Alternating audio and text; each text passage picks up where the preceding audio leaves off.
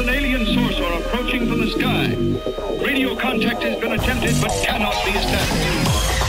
Instructions are to prepare for